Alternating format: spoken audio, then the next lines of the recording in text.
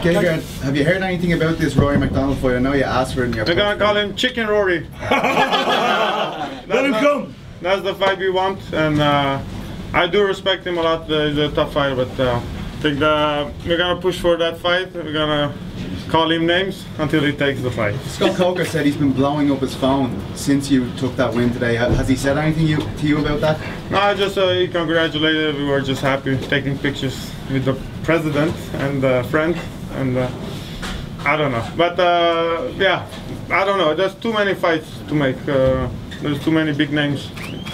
But um, I don't know. We see. Tago, was there anything at all, at all that surprised you in there tonight? Because obviously you ran through it without much resistance. So was there anything that sort of took you off guard? Was it as expected? No, I know I was physically stronger. Uh, if, if guys are not on steroids, I'm twice stronger than them. Uh, that's the truth. Um, I fought. There were two two guys maybe stronger than me, and uh, one of them got caught, and the one was uh, I don't know, very suspicious. But uh, I train with heavyweights. I train with my friend Ricardo. There's the guy. Look at him, handsome and strong. And uh, yeah, um, what can I say? Uh, uh, he's a, he was orthodox, so I had to keep the distance. Yeah. You said you wanted to call Rory some names until he, you know, until he gives Maybe the fight. Mac so- Rory. Mac no, no, that's Rory. not good. Any Big? Mac Rory. No, Big that's Mac. not, that's not good. we will come up with something. Yeah. Eat him. Yeah. But no, no. Uh, I, like I said, I, I like Rory. I think he's a phenomenal fighter. But uh, it's a good matchup for me, I believe.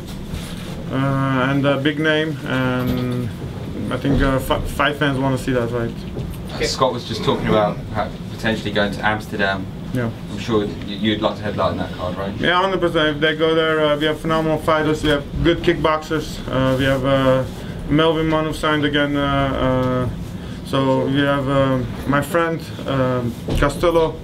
We can headline. We have a lot of uh, stars. Uh, you know, so we can headline uh, for sure. Yeah. Okay, well, back in your UFC days, you felt you had to change the way that you dealt with the media and be a lot more forthright and a lot more open in the things that you said in order to try and get the title fight that never happened. Now you're in Bellator, you're holding the belt right now. What are we going to see from Gogo Mousasi now? Nothing. I don't know. It, uh, it, it feels the same if it would have been UFC belt or not. Uh, I'm just. I worked to this point. I'm happy.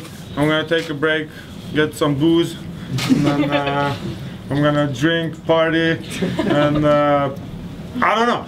I don't know. I'm. Uh, I'm just happy. Maybe uh, light heavyweight, but those guys are big. But um, I take. Uh, I take kickboxing fights, whatever the Bellator uh, offers me, because with Bellator you have kickboxing, you have uh, I can go up, and this this belt will open some doors for me, and it's all about the opportunities, you know. I have to fight contenders, but you have also big names. I think uh, I'd rather make Rory than the old the other guy who's the he's a good fighter. He's bald, but I don't know his name. He's a, he's the contender, I think now. But he's ugly. Kegon, everyone always talks about everyone always talks about the, the Dream and Strikeforce Championship. everyone I was just kidding. Yeah, no, no. You mean it? Yeah. everyone talks about you know the Dream and Strikeforce Championships as defining your career and such a long wait to to capture another championship. Did you need one more to certify you at the top of the sport? Uh, yeah, I think uh, you know a belt is uh, who's the better fighter at that night because the best fighter doesn't have always the belt. It's just timing. Like I said, Georges St. Pierre became the champion because he fought Michael Bisping. That was a good timing for him to take the fight. That was good management.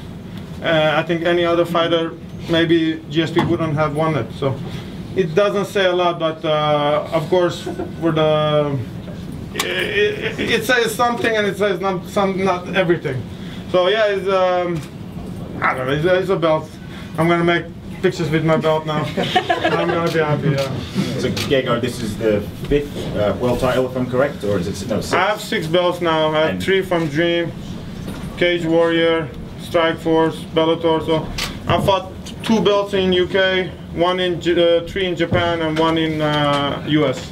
And where do you think capturing the Bellator middleweight championship puts you in the conversation for greatest middleweight of all time? I, I, my goal was never to be the best middleweight. I never had that desire. I just wanted to make money.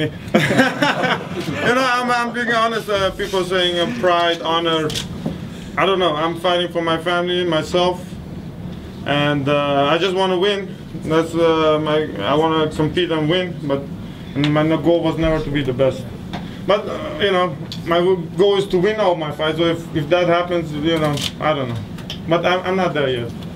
I How much, think. how much does it mean to have got to this point with a lot of the coaching staff and people who've been with you for a very long time on this journey? Now you're standing there with a gold belt. Yeah, they're friends. They're friends first, and then coaches. You know, um, they really care about me. They're, they're- I would say more like family because um, everyone was worried about me. Don't harass him. Get out of his room. Give him sleep. You know, I, I see that the whole, throughout the whole week. They all really care about me. I, I love them, and uh, like I said, it's uh, I feel like a team effort, and uh, I'm grateful to them. Otherwise, uh, like I said, my mother, my brother, my coaches. Uh, yeah, my mother make everyday food. If she doesn't make food, you know, I think I can't I can't perform. so you know, I think everything uh, you have you have the whole team to get to the point where I am. But my mother is more than just making food, of course.